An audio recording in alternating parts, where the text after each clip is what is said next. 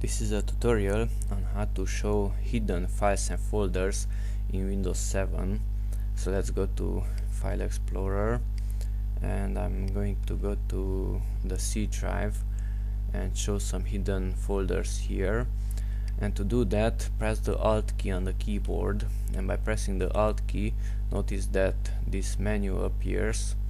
And go to the Tools menu folder options view and then uncheck I mean check show hidden files folders and drives.